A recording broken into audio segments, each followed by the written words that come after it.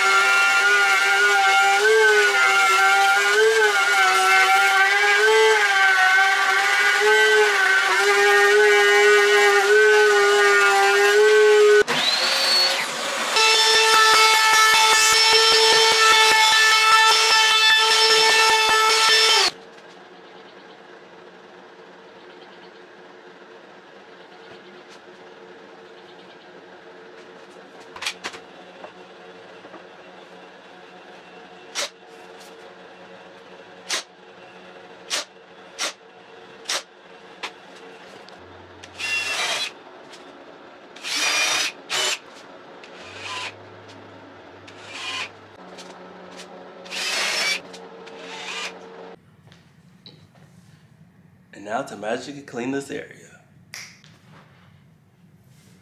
Now that that's cleaned up, let's go ahead and put this table together.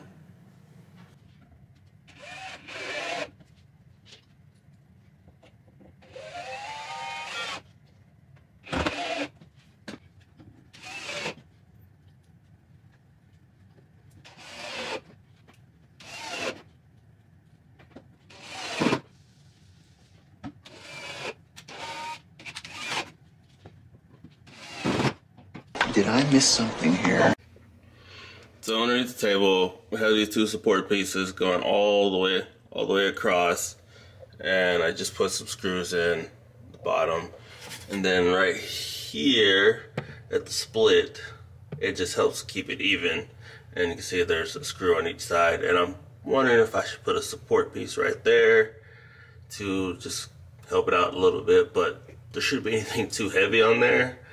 But then again, you never know with these kids. They might be just leaning on the table too much, so I might throw something up there. And as far as the 2x4 goes, I have these support pieces here. And I still got to put those two screws in. And then they're also screwed in from the top. So I think that'll be strong enough. And that's on each leg, so I think we're good on that end. But that's pretty much how I'm holding the table up with the support. And now we return you to our regular scheduled program in progress.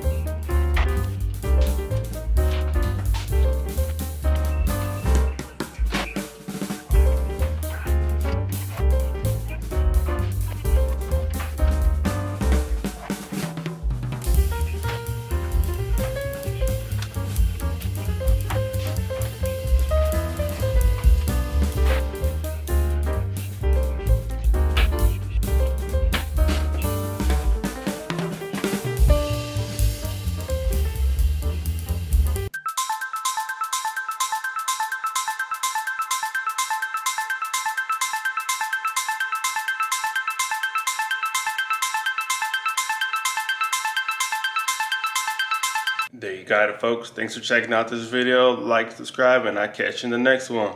Peace out.